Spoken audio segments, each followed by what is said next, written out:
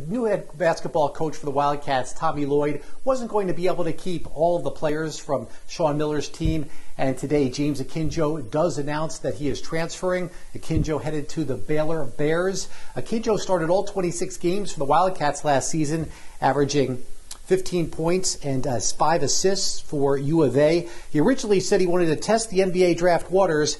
Instead, he is joining the national champion Bears. Akinjo was close with Sean Miller. The Wildcats now need a point guard, although Dalen Terry says that is his natural position. Also today, Ben Mathurin confirms he will return to the Wildcats, and five-star point guard uh, Ty Ty Washington does remain in the mix.